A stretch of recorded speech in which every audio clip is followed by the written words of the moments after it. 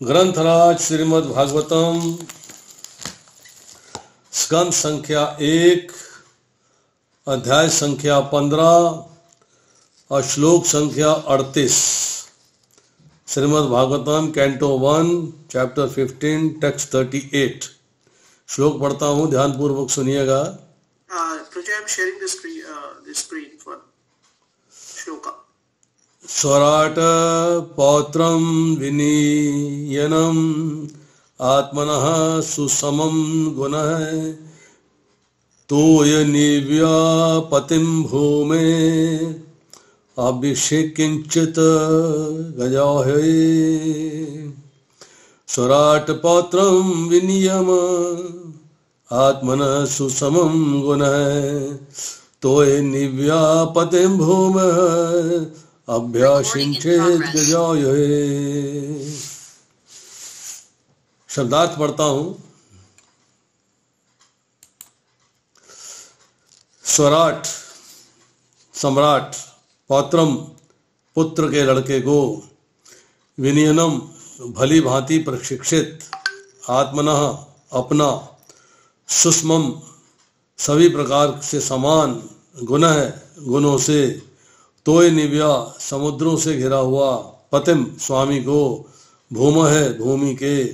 अभ्यसिंचित सिंहासन पर बिठाया गजा भय हस्तनापुर की राजधानी में। अनुवाद पढ़ता हूँ श्री बहुपाद द्वारा। तत्पश्चात उन्होंने हस्तनापुर की राजधानी में अपने पौत्र को सिंहासन आरूढ़ किया, जो समुद्र के द्वारा घिरी सारी भूमि के स्वामी तथा सम्राट के रूप में प्रशिक्षित था। और उन्हीं के समान योग्य था। तात्पर्य पढ़ता हूँ, ध्यानपूर्वक सुनिए। समुद्रों से घिरी हुई सारी भूमि हिस्तनापुर राजा के अधीन थी। महाराज युधिष्ठर ने अपने पौत्र महाराजा परीक्षित को, जो उन्हीं के समान योग्य था, नागरिक के प्रति राजा के कर्तव्य को ध्यान में रखकर राज्य प्रशासन में प्रशिक्षित किया। इस तरह महाराज युधिष्ठर के भगवत धाम जाने से पूर्व परीक्षित उनके स्थान पर सिंहासनारूढ़ हो चुके थे। यहाँ पर महाराजा परीक्षित के प्रसंग में विनीय नम शब्द प्रयुक्त हुआ है, जो अत्यंत महत्वपूर्ण है। महाराजा परीक्षित के समय तक हस्तनापुर का राजा संसार का सम्राट क्यों माना जाता था? इसका कारण यही था कि सम्राट के अच्छे शासन के कारण संसार में लोग सुखी थे। नागरिकों के सुख का कारण पर्याप्त प्राकृतिक उपज थी यथा अन्न, फल, दुग्ध, औषधिया, रत्न, खनिज और जनता की आवश्यक वस्तुएँ वे शारीरिक व्याधियों, मन की चिंताओं तथा प्राकृतिक उत्पातों से मुक्त थे क्योंकि सभी तरह के, सभी लोग सभी तरह से सुखी थे। अतः कहीं कोई संतोष न था। यद्यपि राजनैतिक कारणों तथा श्रेष्ठता प्रदर्शन के लिए राजाओं में कभी कभी युद्ध हुआ करते थे, प्रत्येक व्यक्ति जीवन का सर्वोच्च लक्ष्य प्राप्त करने के लिए प्रशिक्षित किया जाता था। अतः लोग छोटी छोटी बातों से लेकर झगड़ते न थे, किंतु धीरे धीरे कलयुग का प्रभाव, राजा और प्रजा दोनों के सद्गुणों में प्रविष्ट हो गया। अतएव शासक तथा शासित के मध्य तनाव की स्थिति उत्पन्न होने लगी। किंतु शासक तथा शासित के मध्य विषमता के इस युग में भी आध्यात्मिक विकास और ईश्वर चेतना संभव है, यही विशेष अधिकार है। ओम ज्ञानतिमरंधस्य ज्ञानंजन शलकया चक्षुरुन्मिलितं येन तस्मै श्री गुरुवे नमः।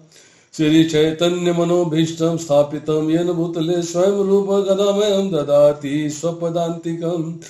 वन्देऽहं श्रीगुरु श्रीयुत पद्कमलं श्रीगुरून् वैष्णवाश्च।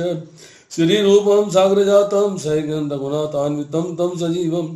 साधवेतं, सावधूतं, परिजन सहितं कृष्ण चैतन्य देवं श्री राधा कृष्ण पादान् सहगन ललिता श्री विशाखान्विताश्च हे कृष्ण करुणा सिंधु, दीन बंधु, जगतपते।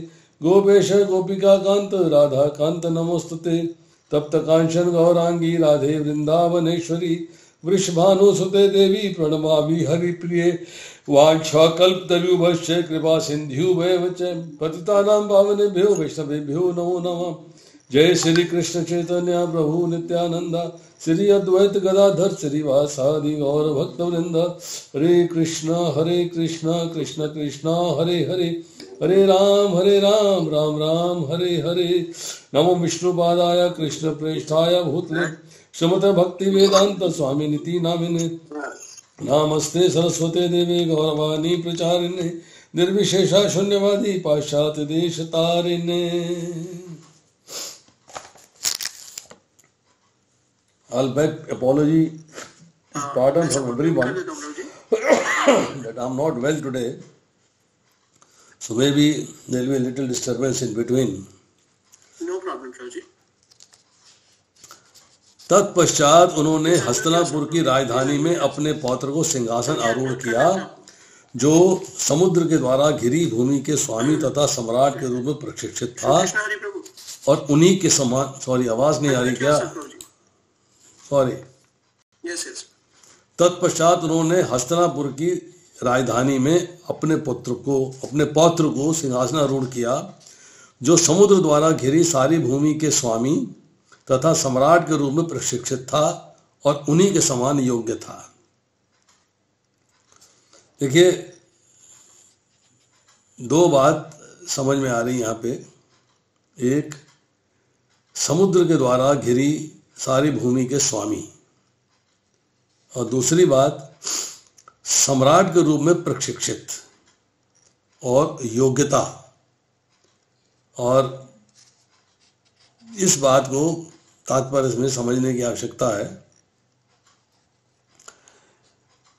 कि पिछले वाले श्लोक में हमने पढ़ा कि महाराजा युधिष्ठिर कलयुग के प्रभाव को समझ गए जिसकी विशेषता बढ़ता लालच, असत्य भाषण, धोखा देना, सारी राजधानी राज्य घर तथा समस्त व्यक्तियों में हिंसा का आधिक्य है। अतः उन्होंने घर छोड़ने की तैयारी की, तदनुकूल वस्त्र धारण किए। राजा को अपने एक, जैसे कहते हैं कि अपने स्थान पर दूसरे को जो है सिंहासन आरूढ़ करना है। अपना स्थान त्यागना है। और दूसरे को वहाँ पर लाना है। तो उसके लिए सबसे इम्पोर्टेंट पॉइंट क्या है? प्रशिक्षण ट्रेनिंग देख उसको राज्य को चलाना है, राज्य को चलाने की ट्रेनिंग उसके पास होनी चाहिए। और महाराजा परीक्षित को ट्रेंड किया गया था।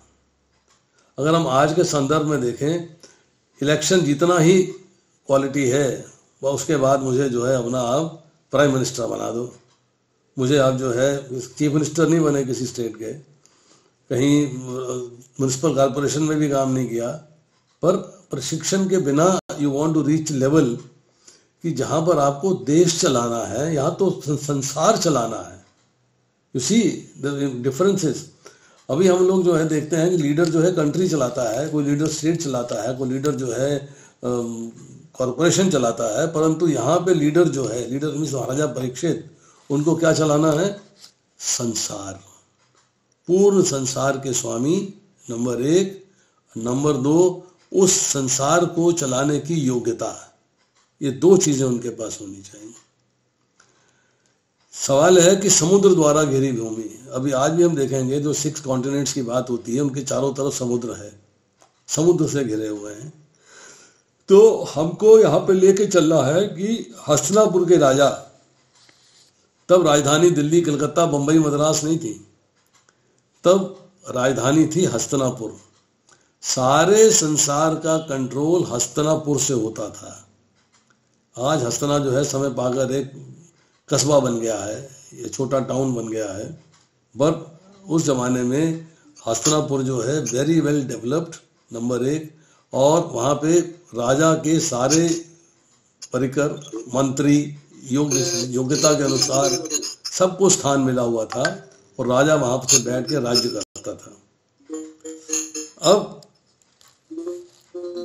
ट्रेनिंग किस चीज़ की होनी है? ट्रेनिंग किसी का किसी का ऑडियो ऑन है? Somebody's audio is on प्रभु जी एक बार सबको म्यूट कर दीजिए सबको अनम्यूट कर दो प्रभु जी सबको म्यूट कर दीजिए मैं अनम्यूट कर लूँगा। किसी का ऑडियो ऑन है।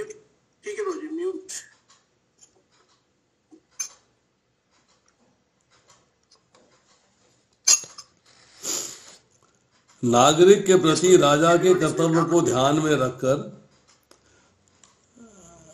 नागरिक के प्रति राजा को राजा के कर्तव्य को ध्यान में रखकर राज्य प्रशासन ने प्रशिक्षित किया। Means training has to be given to how to run the world आज की डेट में how to run the country संसार कैसे चलाना है, उसकी ट्रेनिंग दी है राजा परीक्षित को। और युधिष्ठिर महाराज कह रहे हैं कि जब मैं राज्य छोड़ने वाला हूँ तो अपने पौत्र को राज्य दूँगा। बीच में पुत्र है नहीं कोई।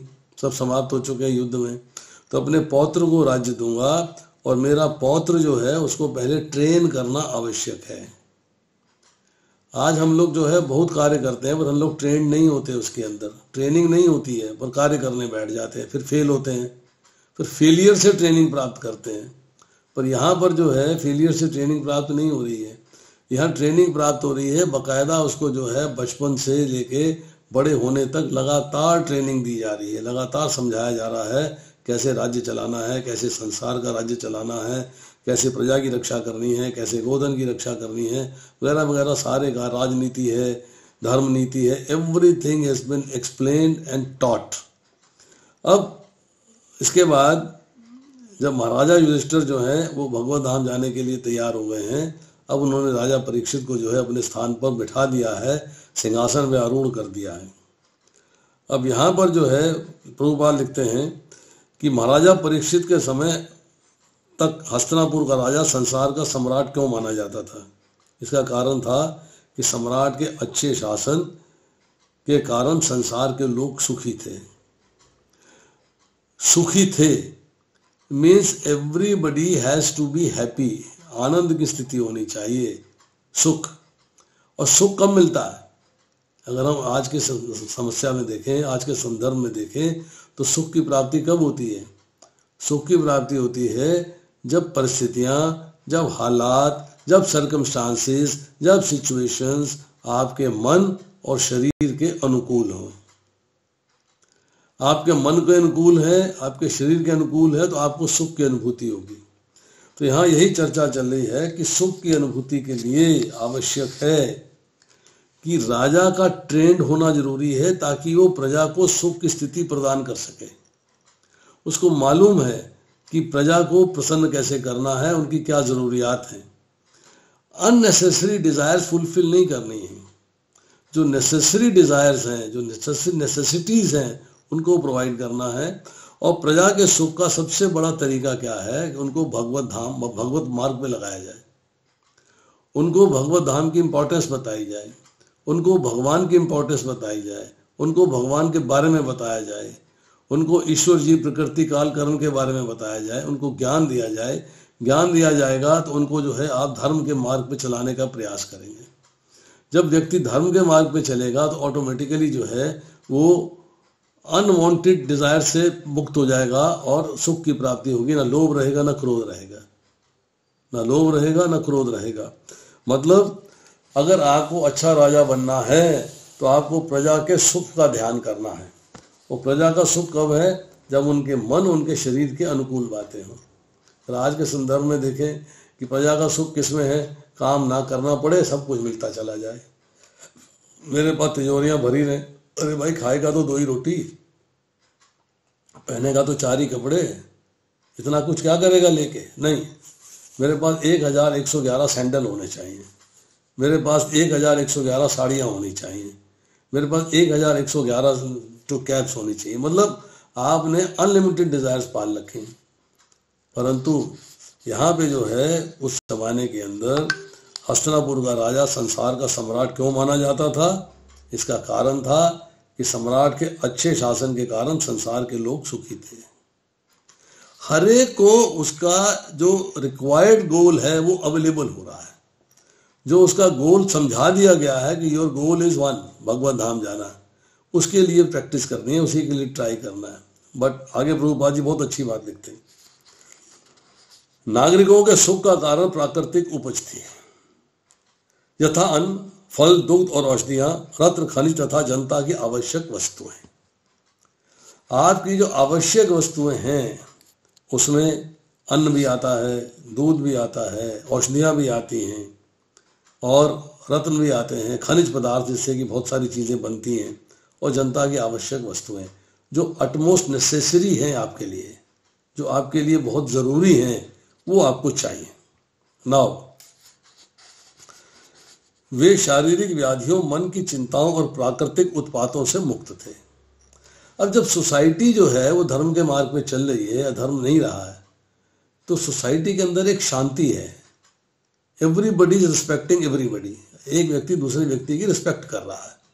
उसको आदर, मान, सम्मान दे रहा है।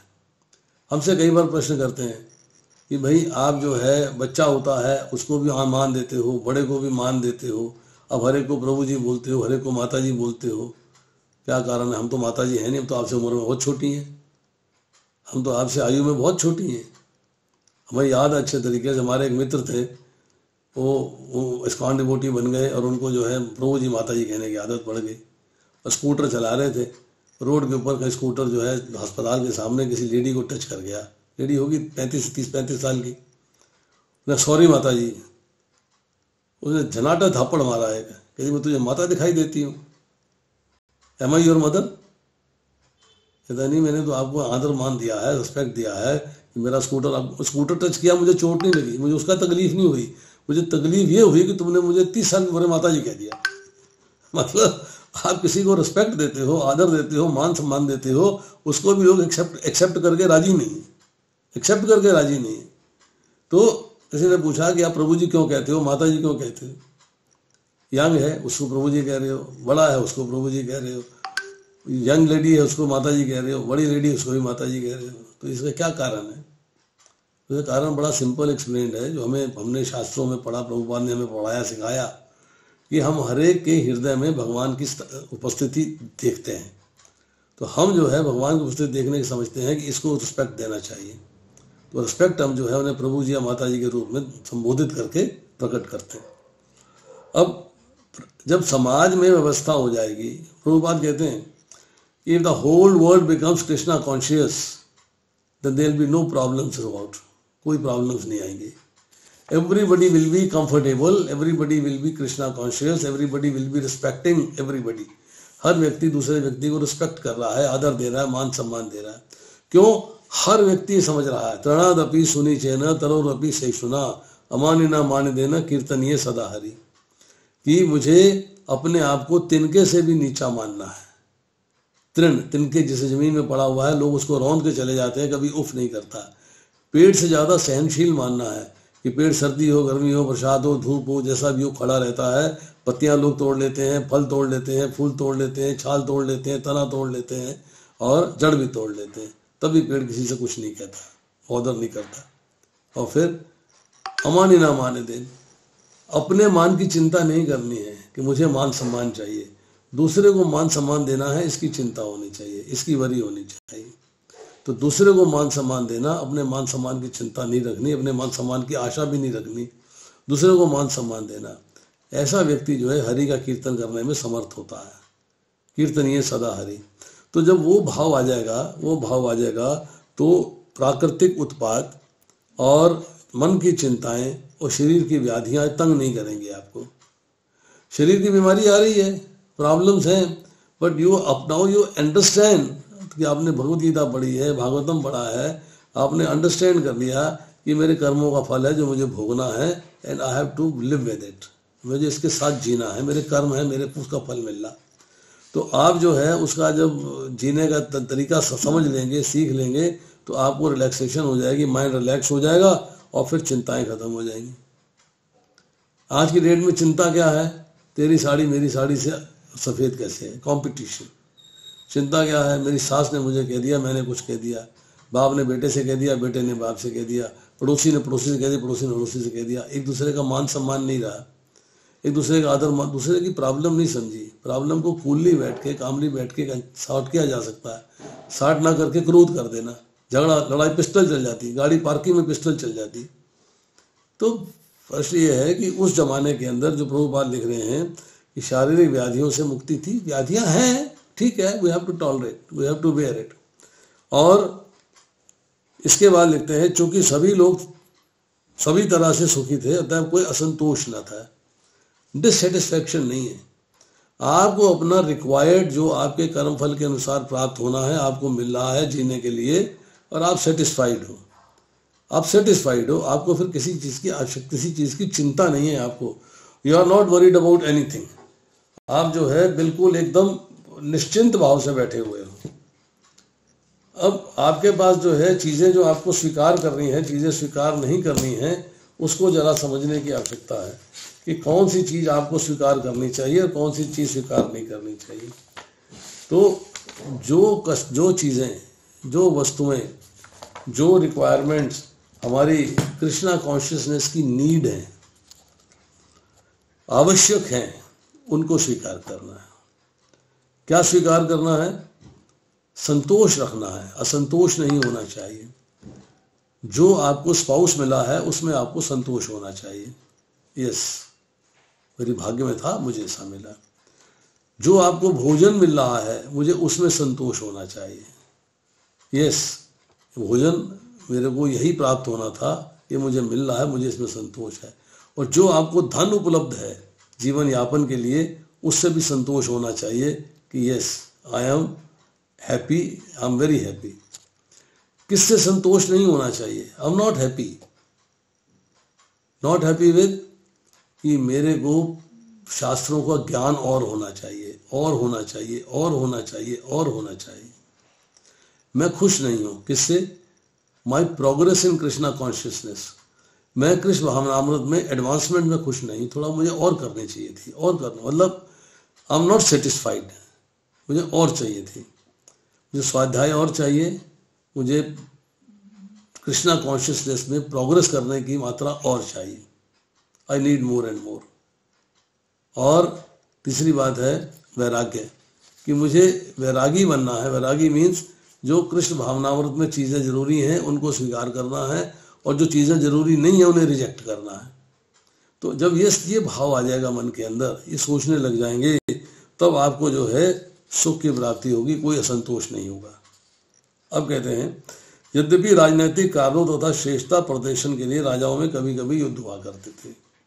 जैसे चक्रवर्ती राजा होते थे, अश्वमेध यज्ञ किया जाता था, घोड़ा छोड़ दिया जाता था।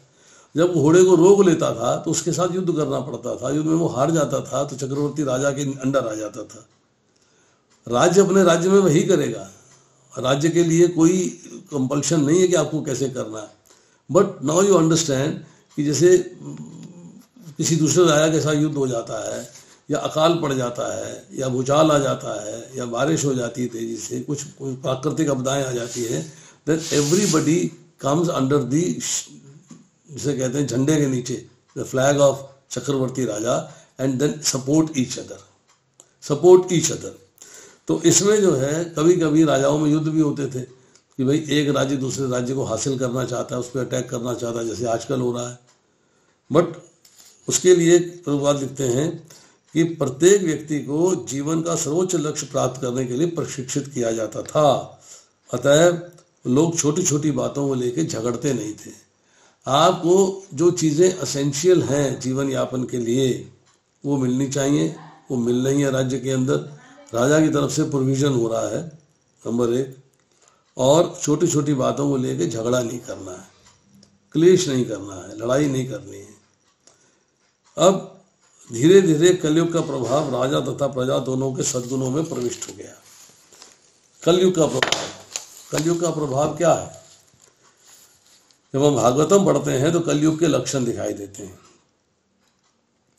सुखदेव गोस्वामी कह रहे हैं, हे राजा कलयुग के प्रबल प्रभाव से धर्म, सत्य, पवित्रता, क्षमा, दया, आयु, शारीरिक बल और स्मरण शक्ति दिन प्रतिदिन घटते जाएँगे।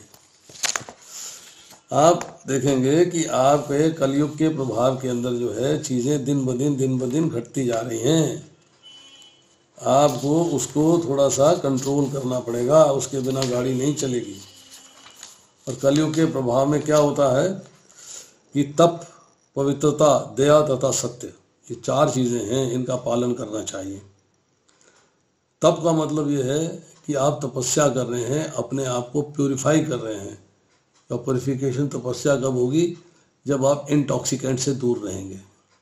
We have to leave tea coffee cigarette tobacco शराब, ये सब चीज़ें छोड़नी पड़ेंगी। तपस्या के लेवल पे आएँगे। पवित्रता मतलब शुचिता तब है जब आप इलिसिट सेक्स से दूर रहेंगे। स्त्री पुरुष से, पुरुष स्त्री से इलिसिट जो कि इलीगल मैरिटल रिलेशनशिप है, उससे आप दूर रहेंगे। उसके बाद है दया। दया का मतलब है पशु वध नहीं होगा। आप किसी जानवर का वध करके उसको खाएँगे नहीं। उसे कई बार मेरे मरीज़ कहते हैं नॉन वेज खाते हैं जी। मुझे एक ही सवाल करता हूँ, भाई, आदमी घर में मर जाता है तो आप टाइम फिक्स करते हो? कितने बजे शमशान घाट लेके जाना? है और जानवर को आप खुद मारते हो, मारने के बाद उसको धो पहुँच के लपेट के फ्रिज में रख देते हो, कल खाएँगे। वो भी मुर्दा है, ये भी मुर्दा है। उसमें भी खून था, इसमें भी खून है। वो आपको पसंद है? तो लोग थोड़ा चिंतित हो जाते हैं। अरे, क्या बात कह दी। अपने, अपना पिता मर गया है, माता मर गई, दादा मर गया, दादी मर गई, उसको शमशान घाट ले जा रहे हैं। इसको मार के पेट में ले जा रहे हैं। पेट शमशान घाट है क्या? पेट शमशान घाट है क्या? और सत्य का मतलब ये है गैम्बलिंग नहीं होनी चाहिए। There should be no gambling at all मतलब स्पेकुलेशन गैम्बलिंग है, उससे बच के रहना। तो इन बातों को आपने जो है ध्यान से रखना है। अब, अगर हम ये चार नियमों का पालन आज इस्कॉन में सिखाया जाता है कि आपको चार नियमों का पालन करना है। और यहाँ पर जो है, आती है चर्चा कि कलयुग के अंदर क्या हो रहा है? कलयुग के अंदर धर्म लोप हो रहा है सत्यता कम होती जा रही है, पवित्रता होती जा रही है, क्षमा घटती जा रही है, आदमी किसी को माफ़ करने को तैयार नहीं। क्षमा का लेवल क्या होता है? क्षमा है दूसरे के अपराध को क्षमा कर माफ़ कर देना। कैसे माफ़ करते हैं? मैं बहुत पावरफुल हूँ वेरी पावरफुल किसी ने मेरे प्रति अपराध कर दिया, मैं उसे दंड दे सकता हूँ, उसे पनिश कर सकता हूँ, पर मैंने पनिश नहीं किया, मैंने छोड़ दी थी yes I I forgive you इसका मतलब है कि मैंने असली दया करी। असली क्षमा करिए। पर एक आदमी कमज़ोर है, बहुत कमज़ोर है, और कोई बलवान व्यक्ति उसके प्रति अपराध कर सकता है। तो बलवान को, वो कहता है, लड़ूँगा तो मैं खुद ही मारा जाऊँगा। तो क्षमा कर देता है। तो वो क्षमा नहीं है। क्षमा का लोअर लेवल है। क्षमा वो भी है, पर क्षमा का लोअर लेवल है। क्षमा का अपर लेवल क्या है? कि आप पावरफुल होते हुए भी दूसरे को दंडित नहीं करेंगे। You are powerful but in spite of that power you are not punishing the person who done offence to you वो आपके प्रति अपराध कर रहा आप दया करते हो। उसके बाद कह रहे हैं, आयु, शारीरिक बल, स्मरण शक्ति दिन प्रतिदिन घटते चले जाएँगे। मैं अगर आपसे पूछोगे, आप तीन दिन का मीनू बता दो, आपने क्या खाया तो आप नहीं बता पाओगे। सुबह नाश्ते में क्या लिया था, उसके बाद क्या लिया था, लंच में क्या लिया, उसके बाद क्या लिया, डिनर में क्या लिया, उसके बाद क्या लिया क्या क्या आइटम थी क्या क्या चीज़ें थी, तीन दिन का, हफ़्ते भर का गिना दीजिए, हम नहीं गिना पाएँगे। सॉरी स्मरण शक्ति कम हो रही है।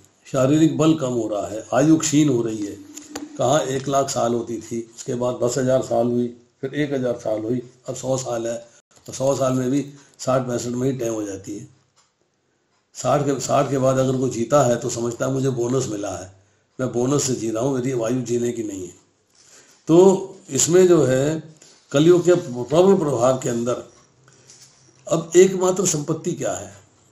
आज की आज की डेट में जो है कलयुग के अंदर जो है व्यक्ति जो है उसकी पहचान किससे है? कि कलयुग में एक एकमात्र संपत्ति क्या है? पैसा पैसा। और कुछ नहीं है। आपका जन्म उत्तम हो, आपके उचित व्यवहार हो, सद्गुण हो, ये तभी है जब आप पैसे वाले हो तो। बिना पैसे वाले के पास ये गुण है तो कोई वैल्यू नहीं है, कोई नहीं पूछता। कोई नहीं पूछता एक व्यक्ति के पास बहुत पैसा है। इज़ वेरी रिच तो हर व्यक्ति पूछता है how is sir how how is everything how how are you मतलब हाउ हाउ करता अब वो भिकमंगा हो गया, पैसा लुट गया वो बात करने का राम से आता पूछते हु आर यू कौन हो भाई? मतलब पहचानने से भी इनकार कर देते हैं।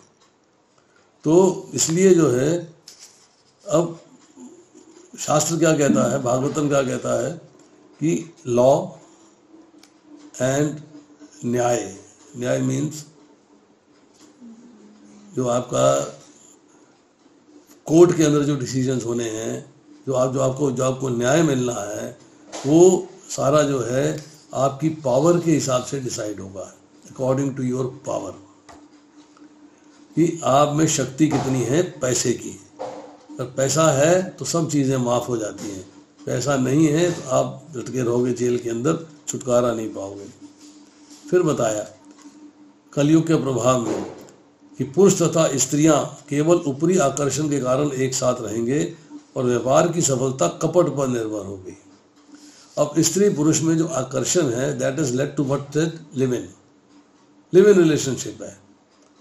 आज नहीं पसंद आई, दूसरे ले लिया। नहीं पसंद आई, तीसरे के साथ ले लिया। नहीं पसंद आई, चौथे के साथ ले लिया। लिव इन चल। रहा ऊपरी आकर्षण है। मन को कोई नहीं टटोलता। अंदर से हृदय में कोई नहीं देखता। मन को नहीं देखता। तो क्या है? ऊपरी आकर्षण है। ठीक? व्यापार की सफलता कपट से। आप कितनी बेईमानी कर सकते हो बिज़नेस के अंदर, उससे आप सफल हो। ये आपकी सफलता किस पे है? बेईमानी पे है। हम कई बार शब्द यूज़ करते हैं। कि ईमानदार व्यक्ति बड़ी मुश्किल से शाम की रोटी कमा पाता है। अगर आपको जो है अनायास उपलब्ध हो रही है मज़े के अंदर तो कहीं ना कहीं आपने बेईमानी करी है, जिससे आपको जो है बहुत मेज मेला लग रहा। पुरुषत्व तथा अस्तित्व का निर्णय काम शास्त्र में उनकी निपुणता के अनुसार किया जाएगा। बहुत बढ़िया बात कही, भागवतम ने, कि आप जो है पुरुष हैं कि स्त्री हैं परफेक्ट हैं कि नहीं है, आपके ज्ञान पे डिपेंड नहीं करता है, आपके व्यवहार पे डिपेंड नहीं करता है, आपके मन पे डिपेंड नहीं करता है, आपके इमोशंस पे डिपेंड नहीं करता है, आपकी भावनाओं पे डिपेंड नहीं करता है डिपेंड किस पे करता है?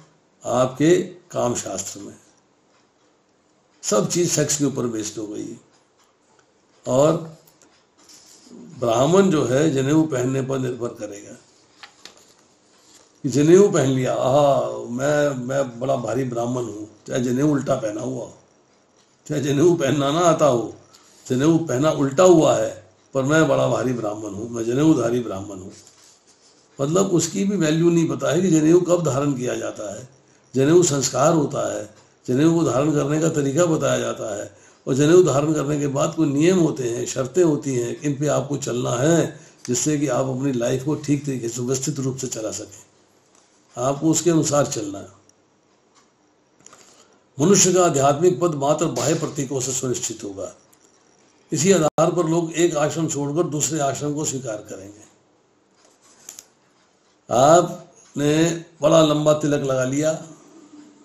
गले में भगवा कपड़ा पहन लिया, भगवे कपड़े पहन लिए तो आप बड़े भारी महात्मा हो गए। देखा है आपने, दिखने में है।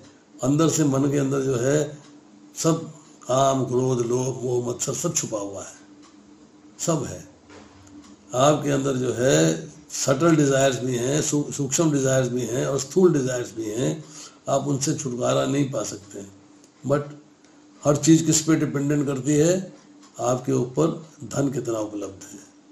पैसा कितना है? उसके बाद यदि किसी की जीविका उत्तम नहीं है तो उस व्यक्ति को औचित्य में संदेह किया जाएगा। If you if you are not earning well यह बेकार आदमी, कुछ नहीं, इसके पास पैसा नहीं है। और जो चिकनी चुपड़ी बातें बनाने में चतुर होगा, वही विद्वान पंडित माना जाएगा। जो आपको कहते हैं, स्मार्ट आदमी कौन है बिज़नेस के अंदर? जो गंजे को कंघी बेच दे। गंजा व्यक्ति है, उसको आपने कंघी बेच दी तो you are very smart businessman आप बड़े अच्छे रिटेलर हो बहुत अच्छे बिजनेसमैन हो और आप बहुत अच्छे जो है सेलर हो। तो इस तरह जो है जो निपुणता है बातों की उससे ही आप खाएँगे उसी से आप घर बड़ा विद्वान है भैया बातें बड़ी सुंदर करता है। मज़ा आ गया बातें सुन के। यदि किसी व्यक्ति के पास धन नहीं है वह अपित्र माना जाएगा। धन नहीं है बेकार आदमी है, है बच्चों से कोई ना बता कई बार हम चर्चा करते हैं निमंत्रण आया है गरीब के घर जाना है यार, कौन जाएगा वहाँ? बैठने की जगह होगी, नहीं होगी? खाने को मिलेगा, नहीं मिलेगा? क्या करें? जाए, ना जाए, छोड़ो, टाल पर किसी रईस के घर से निमंत्रण आया है तो आप वक्त से पहले पहुँचते हो, भाई, वहाँ वो बड़ा आदमी नाराज़ ना हो जाए, और व्यवस्था सारी पूरी की पूरी है, मज़ा बहुत आएगा, पार्टी बहुत बढ़िया होगी। मतलब गरीब आदमी को आप जो है अपित्र मान लेते हो यूजलेस मान लेते हो, निकृष्ट मान लेते हो, और दिखावे को गुण माना जाएगा। जैसे मैंने बताया, दिखावा भगवे कपड़े पहन लिए, या भगवे मटका धारण कर लिया, बहुत बड़ा तिलक लगा लिया, अब ये बड़े दिखावा कर रहे हैं। ये आपका गुण है। और विवाह मौखिक श्रुति के द्वारा व्यवस्थित होगा। मतलब आपने एग्री कर लिया वोकली एक दूसरे के साथ कि yes you are my wife is my husband और चलो जी लिविन हो गया, शादी हो गई फाइनल हो गया ये। तो कोई व्यक्ति अपने को जनता के बीच आने के योग्य समझेगा तो उसे केवल स्नान कर लिया। हो मतलब वो, उसने केवल स्नान कर लिया हो। मतलब आज जो है, आपने अपने शरीर को अलंकृत कर दिया है और ये समझते हैं आपने कि आपने पुण्य में स्नान कर लिया। पुण्य पुण्य हो गए सारे। मेरी पोजीशन बहुत बढ़िया हो गई। I am no very well of actuality में क्या है? दम्भ है। दम्भ मीन्स दिखावा है। दिखावा मीन्स करने वाला कुछ कर, हाथी के दांत खाने के और और दिखाने के और। खाने के लिए कुछ और है, खाने के लिए कुछ और है। अब कलयुग के अंदर तीर्थ स्थान को दुरास्त जलाशय और सौंदर्य को मनुष्य की केश संज्ञा, केश सज्जा पर आरक्षित माना जाएगा। ब्यूटी पार्लर जाते हैं ना, बाल सेट करते हैं। बाल, जैसे बाल हैं, तब पार्टी में मज़ा आएगा जाके। मेकअप कैसा, तब पार्टी में मज़ा आएगा। और तीर्थ स्थान में जाने की बात करते हैं तो कहते हैं, मैंने बोला, भैया, वृंदावन चलोगे? अरे, मैं देख आया हूँ, देख आया हूँ। ऐसे जैसे लाल किला देख आया हो, कुतुब मीनार देख आया हो ऐसे वृंदावन भी देख आया हो। भगवान के दर्शन करने जा रहा है, उसमें इंटरेस्ट नहीं है, मैं देख आया हूँ। और उधर भरण जीवन का लक्ष्य बन जाएगा। एम ऑफ़ लाइफ क्या रह जाएगा? पेट भर जाए बस, खाना मिल जाए, पेट भर जाए, और जो होगा दिखी जाएगी। जो जितना ज़्यादा ढीठ होगा, उतना ही सत्यवादी माना जाएगा। अगर आप जो है, अपनी बात पे अड़े रहते हैं, छोड़ते नहीं हैं बार बार वही मिस्टेक करते हैं तो आप अपने आप को फिर जो है, कहते हो जी, मेरे से ज़्यादा ऑनेस्ट कोई नहीं, मेरे से ज़्यादा ट्रूथफुल कोई नहीं है। मैं ही ट्रूथफुल हूँ, मैं ही ऑनेस्ट हूँ। और जो व्यक्ति परिवार का पालन पोषण कर सकता है, वह दक्ष माना जाएगा। धर्म का अनुसरण मात्र यश के लिए किया जाएगा। आप बड़े धर्मात्मा दिखाई देते हो, किसके लिए? यश क्या है? धर्म का अनुसरण करते हो। यस आई फॉलो दिस क्या है, मैं मंदिर जाता हूँ जी, रोज, सवेरे दो मिनट के लिए, पाँच मिनट के लिए। जाके दर्शन करता हूँ, कानों को हाथ लगाता हूँ ऐसे ऐसे करता हूँ ऐसे ऐसे करके भगवान से क्षमा मांग के मैं चले जाता हूँ काम पे। मैंने ना मंदिर में ग्यारह सौ रुपये दिए थे। एक पत्थर मेरे नाम का लग गया। मैंने मंदिर में ढाई हज़ार रुपया दिया था, पंखा मेरे नाम का लग गया, पंखे में मेरा नाम लिखा हुआ है, पत्थर पर भी मेरा नाम लिखा हुआ है। मीन्स मुझे यश चाहिए। इस तरह जो जो पृथ्वी भ्रष्ट जनता से भरती जाएगी त्यों त्यों समस्त वर्णों में जो अपने को सबसे बलवान दिखला सकेगा, राजनीतिक शक्ति प्राप्त करेगा। इसी जमाने में जब राजा होता था, उसको गाइड करने के लिए मंत्रियों की जो परिषद होती थी, सब ब्राह्मण होते थे। अगर आर्थिक गाइडेंस देनी है तो बिजनेसमैन होता था। अगर राज्य चलाने के लिए प्रजा के सुख दुख की चिंता करनी है तो ब्राह्मण मंत्री होते थे। अगर उसको युद्ध भूमि के अंदर जो है जाके अपना एक्शन दिखाना है, पड़ोसियों से रक्षा करनी है, दुष्टों से रक्षा करनी है, अपने, अपनी सीमाओं की रक्षा करनी है, उसके लिए क्षत्रिय होता था तो क्षत्रिय जो है उसको ड्यूटी मिलती थी कि तुम सेनापति का पद लोगे। आज की डेट में क्वालिटी क्या हुई है कि आपके पास आपका वर्णाश्रम धर्म के अनुसार कोई वैल्यू नहीं है। कि आप में से जिसके पास पावर है, वही लीडर है। लड़ाइयाँ हो रही हैं। किस बात पे? कि साहब ओबीसी चीफ मिनिस्टर क्यों नहीं हो सकता? ओबीसी प्रधानमंत्री क्यों नहीं हो सकता? ओबीसी चीफ ऑफ़ आर्मी क्यों नहीं हो सकता? प्रोग्रेस के हिसाब से बने ना बने, मैं ओबीसी हूँ, मुझे बना दो। मैं शेड्यूल कास्ट हूँ मुझे बना दो। दिस प्रॉब्लम आर कमिंग राजनीतिक शक्ति मिल रही है, आपको किसी ऑफ़िस की पावर मिल रही है, इसी बेस से मिल रही है कि आपकी अपनी हाथ में कितनी शक्ति है, कितने लोग आपके साथ हैं। तो यहाँ पर जो है बहुत सारी चीज़ें बताई हैं। उसके बाद बताया कलयुग का अंतिम अल्टीमेट प्रभाव क्या है? अकाल। अत्याधिक रूप से सताए लोग पत्तियाँ, जड़ें, मांस, जंगली शहद, फल, फूल, बीज खाने के लिए बाध्य हो जाएँगे। जो मिलेगा खा जाएँगे। चाइना में क्या हो रहा है? उनके जैसे कीड़े का अचार चावल होते हैं उसमें छोटी छोटी मच्छियाँ डाल रखी होती जीरे की तरह। जीरे की तरह छोटी छोटी मच्छियाँ होती हैं वहाँ पे समुद्र में। उनको लेकर जीरे की तरह इस्तेमाल करते हैं, चावलों में डाल देते हैं। आपको कीड़े मकोड़े मिलेंगे, सांप खाते मिलेंगे वहाँ पे। मतलब मेरे पास ऐसे वीडियोस हैं, जहाँ पाँच महीने का बच्चा अबॉर्ड कराया जाता है, उसको फिर बॉईल किया जाता है, उसका सूप बनाया जाता है। समझे नहीं? तो इस तरह की चीज़ें जो है, बिल्कुल अन अन जिसे कहते हैं आप इमेजिन नहीं कर सकते। अनइमेजिनेबल कि ये बातें ऐसे हो सकती हैं, पर आज हो रही हैं। They are taking this they are consuming this तो हम देखते हैं कि कलयुग का जो प्रभाव है जब वो कलयुग का प्रभाव आ जाएगा तो अभी तो स्टार्ट हुआ है। अभी बिगिनिंग है। अभी भी देखिए, बलात्कार हो रहे हैं, हत्याएँ हो रही हैं रोड रेज हो रहे हैं एक्सीडेंट्स हो रहे हैं मतलब सब एन्जॉयमेंट के मेले हैं। एंजॉयमेंट के मेले हैं। तो इसलिए जो है, ये जो असंतोष हो रहा है समाज के अंदर, उसकी वजह यही है कि हमारी कामनाएँ जो हैं अनलिमिटेड हो गई हैं। हम बिना पैसा के धन कमाना चाहते हैं। अभी लोग कह रहे थे, बड़ी बेरोजगारी चल रही है। बहुत बेरोजगारी है और अच्छा लगा सुनने में किसी से। बेरोजगारी बहुत है। मैंने कहा, एक बात बताओ आप। प्लम्बर ढूंढो, मिलता नहीं है। कारपेंटर ढूंढो, मिलता नहीं है। मैसन ढूंढो, मिलता नहीं है। पेंट पॉलिश वाला ढूंढो, मिलता नहीं है। अरे, लेबर अवेलेबल नहीं है। भुखमरी चल रही है। तो एक मैं टीवी पे उस दिन न्यूज़ देख रहा था, उसमें इंटरव्यू एक आया लड़के का। होगा कोई चौबीस पच्चीस साल का। साहब, हम तो बेरोजगार हैं। अच्छा। क्या पढ़े लिखे हो ये? दसवीं फेल हैं हम। अच्छा तो क्या बेरोजगार हमें नौकरी मिलनी चाहिए? तो कौन देगा नौकरी? सरकार की ज़िम्मेदारी दे तुमने अप्लाई किया? नहीं अप्लाई तो मैंने नहीं किया। अप्लाई तुमने किया नहीं है, दसवीं फेल हो, सरकारी नौकरी चाहते हो तो ये तो आज की समस्या है। ये कलयुग का प्रभाव है कि सही को गलत समझना और गलत को सही समझना। उल्टे को सीधा समझना, सीधे को उल्टा समझना, ये कलयुग का प्रभाव है कि जो जो व्यक्ति योग्य नहीं है वो टॉप पोजीशंस पे आ रहे हैं। योग्यता नहीं है उनके पास, और टॉप पोजीशंस पे आ रहे हैं। तो कलयुग के अंदर ये ऐसी बातें होंगी, और यही है, जब कलयुग आगे बढ़ेगा, एक लिमिट में आ जाएगा तो फिर ऑफ़ कोर्स कल की भगवान अवतार लेंगे, और फिर सारी समस्याओं का हल हो जाएगा, प्रलय आ जाएगी। तो यहाँ जो है प्रभुपाल लिखते हैं अंत में, किंतु शासक तथा शासित के मध्य विषमता के इस युग में। अनबैलेंस है अनकंट्रोल है समान स्थितियाँ नहीं है विषमता है। तो इसमें भी प्रभुपाद कहते हैं कि आध्यात्मिक विकास ईश्वर चेतना संभव है। That's what we are doing आध्यात्मिक विकास कर रहे हैं, नंबर एक, और भगवान के प्रति अपने आप को कॉन्शियस कर रहे हैं कि यस भगवान हैं और हमें उनको स्वीकार करना चाहिए, हमें उन्हें एक्सेप्ट करना चाहिए। और यही हमारा विशेष अधिकार है our our special right special right क्या है?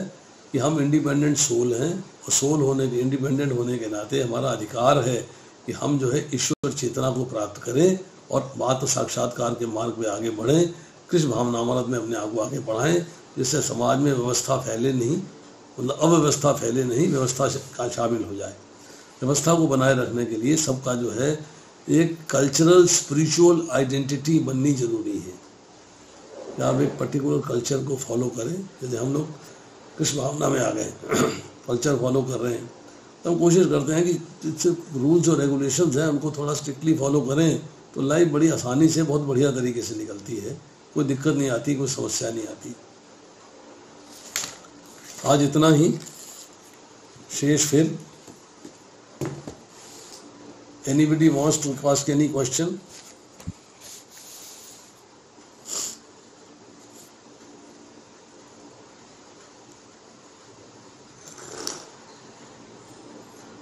yes प्रभु राधा चित्तरी प्रभु बताइए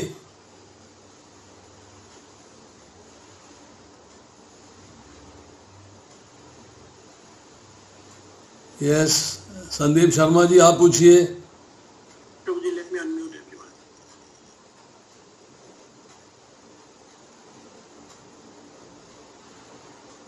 हाथ तीन खड़े हैं बोल कोई नहीं रहा। हरे कृष्णा प्रभु जी प्रणाम हरे कृष्णा प्रभु जी। Radha Chitari Prabhu, please, हरे कृष्णा प्रभु जी धर्म प्रणाम। दंडवत प्रभु जी दंडवत कहिए बहुत बहुत अच्छा बहुत अच्छी तरह से प्रभु जी आपने जो है इस पर्पस को जो है